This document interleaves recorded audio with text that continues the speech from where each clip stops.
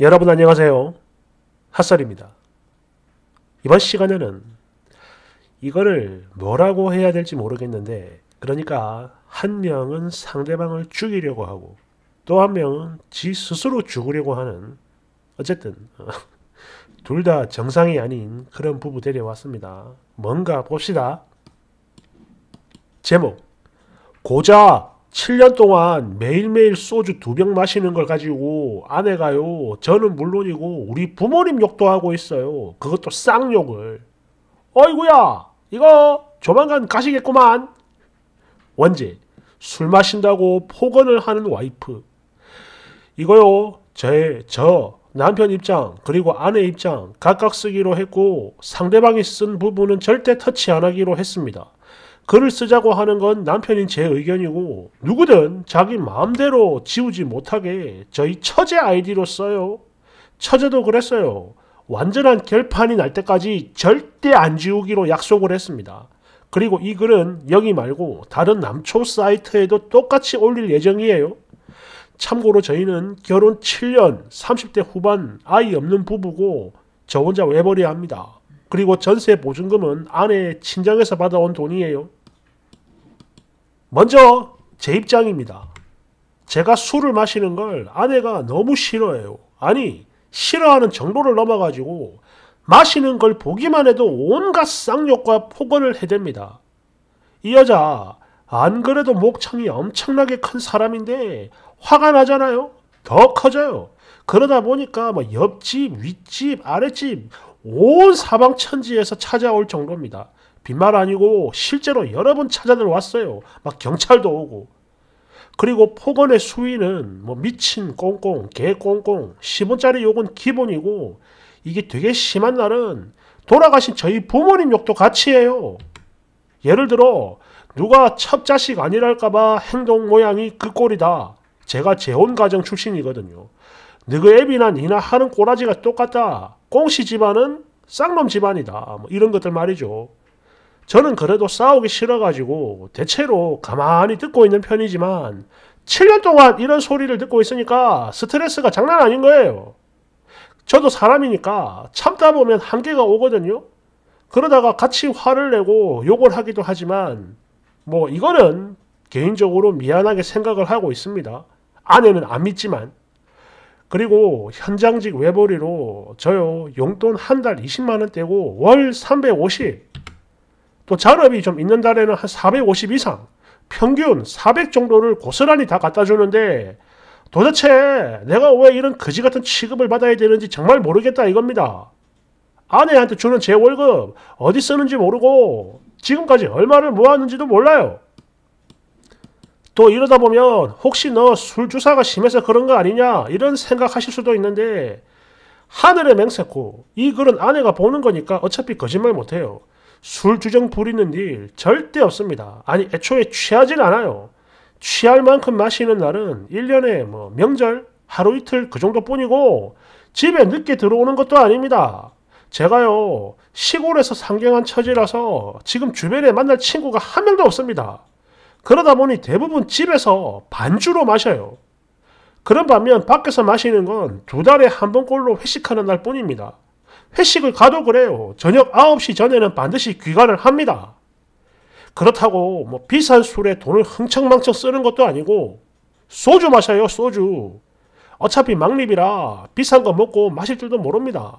그리고 술값도 그래요. 오로지 제 개인 용돈에서만 사용을 합니다. 따로 돈을 다 쓰고 그러진 않아요. 그렇다고 제가 또 술 마신다고 아내한테 안주 좀 만들어봐 이런 요구 한 적 없고 오히려 아내가 전업임에도 불구하고 저녁밥을 해놓는 날이 거의 없거든요. 그러다 보니 제가 직접 계란 후라이 같은 거 해가지고 밥 반찬 겸 술안주로 먹고 그럽니다. 아내도 술 마셔요. 예를 들어 여름 같은 날 되게 더울 때 주 한 1회 많으면 2회 정도 캔 맥주 작은 거 한 두 캔 정도 마시고요. 가끔 친구들 개모임을 해가지고 이걸 또 저녁에 하는 날은 친구들이랑 술 마시고 늦게 들어오기도 하죠. 아니 지는 되고 나는 안 되고 내로남불이야 뭐야 이게 말이 됩니까? 여하튼 그래요. 폭언도 폭언이지만 일단 화가 나잖아요. 마치 저 들으라는 듯이 끊임없이 중얼거리며 멈추지를 않습니다. 한 시간이고 두 시간이고 쇼파에 앉아가지고 계속 거지 같은 놈, 망할 놈, 죽일 놈 등등등 술을 못 처먹어가지고 뒤진 귀신이 차 붙었냐? 죽어버려 그냥. 이런 소리를 계속 중얼중얼중얼중얼중얼 듣기 싫은데 다 들려요. 목소리가 커가지고 진짜 이러다 보면 노이로제 걸릴 것 같습니다. 하, 여러분 이게 전부가 아니에요. 위에 쓴 욕돌은 일부분일 뿐이고 이게 글이 잘릴까 싶어서 차마 쓰지 못한 훨씬 더 강력하고 심각한 욕도 되게 많습니다. 거의 저주죠 저주.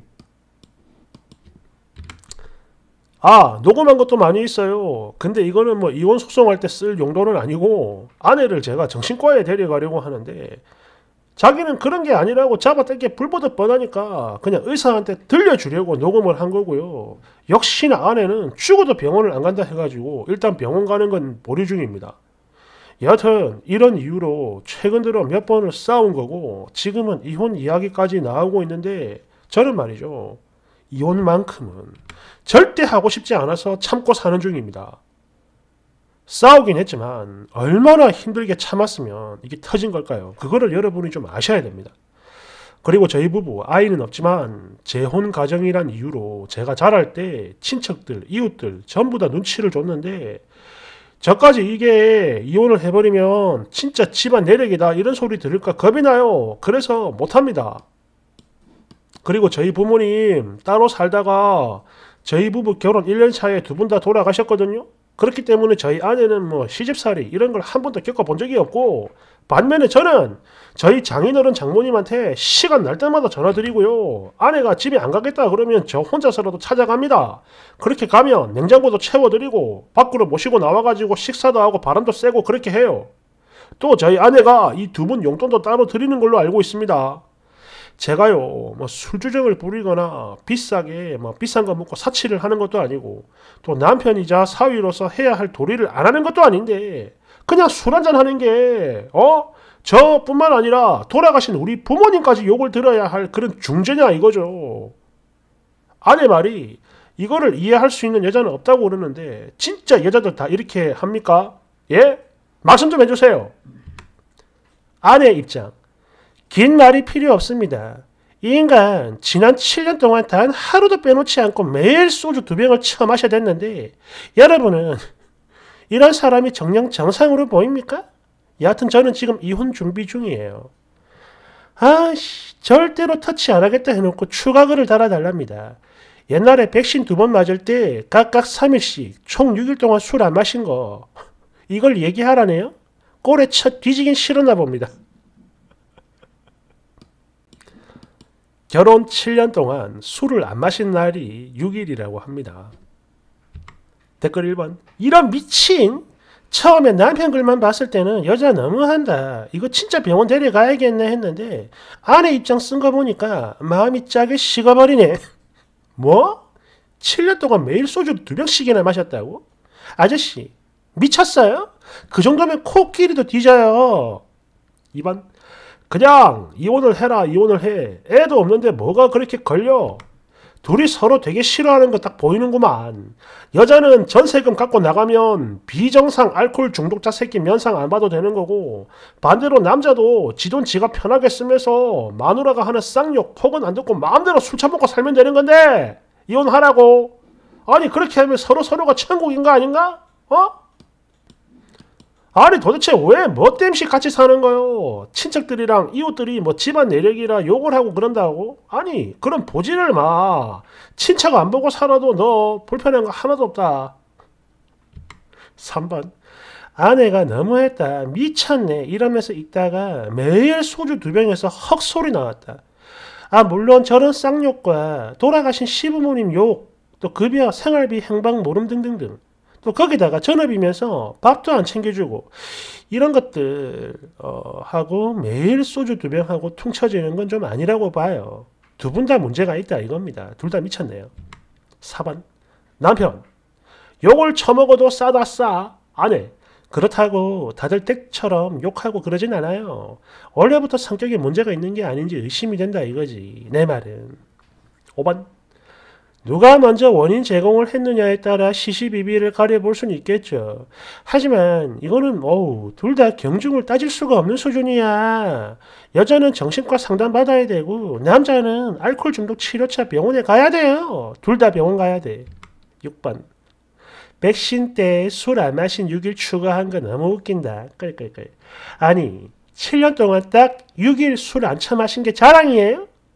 배우자가 저 정도로 술 오지게 처마셔야 되면은 나도 그래. 분노 조절장애 생겨서 욕 오지게 하겠다, 이씨. 아니, 정신병 걸리기 전에 벌써 이혼했겠지. 아우, 빨리 이혼해요. 7번. 이 아저씨 간에서 소주만 날 것 같아요. 끌끌끌끌. 됐고, 어서 둘이 손잡고 같이 병원이나 가세요. 너희 둘 다 가야 돼요. 8번. 어? 아니 이게 뭐 어때서? 끼리끼리 잘 만났구만 왜 그래? 그냥 서로가 서로의 지옥으로 계속 그렇게 뭉쳐가지고 살아보라 이거지. 어? 서로의 지옥이야. 9번. 그래도 주사 없고 돈도 다 갖다 주고 일 끝나면 매일매일 잘 들어오는 남편을 사랑하니까 절할질을 하면서도 못 마시게 하는 거지. 만약 사랑하지 않는다면 그냥 조용히 보험이나 잔뜩 들어두고 냅뒀을 거야. 죽기를 기다리겠죠. 매일 소주 두 병을 처 마신다고? 아저씨 나이가 몇 살인지 모르겠지만 30 후반이라 그랬죠. 최소 5년, 길어봤자 10년도 못 넘기고 저승 갈 거다. 100%야. 10번. 아내는 정신이 혼미하고 남편은 술에 쩔어 있네요. 이혼만이 정답입니다. 11번. 욕 수위가 엄청나긴 한데 그래도 7년 동안 매일 두 병을 처마셨다고. 이 정도면 부처님도 쌍욕하죠. 됐을까요? 욕도 욕이지만 저런 욕을 처먹으면서 꿋꿋하게 술을 계속 처먹는 게 더 이해가 안 돼요. 혹시 마누라가 해주는 욕이 안주야? 맛있어요? 이야, 이 완전 용어 상박 아닙니까? 어. 일단 뭐 사람마다 개인 편차가 있겠지만 제 생각을 이야기해 보겠습니다. 어, 저라도 저 정도 술을 마시면 진짜 해 죽이질 못해도 욕 오지게 할 것 같긴 해요.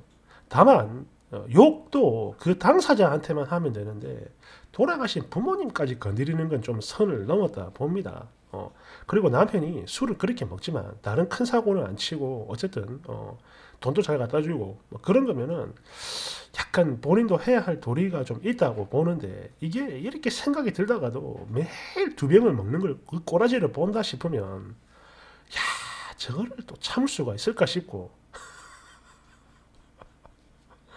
아무튼 술 저렇게 먹으면 조만간이죠. 진짜 나이 필요 없습니다. 7년 동안 저리 먹었다면 그 전부터 먹었다는 건데 야 이건 알코올 중독 중에서도 심각한 거 아닙니까? 심각한 거. 어. 안 취한다는 거 보니까 술이 좀 센 것 같긴 한데 그래도 술을 이길 수 있는 장사는 듣도 보도 못했습니다. 어. 여하튼 이건 어, 두 사람 다 병원 가야 될 것 같아요. 상담 받고 아니면 갈라서든가. 어. 여러분 생각은 어떻습니까? 감사합니다.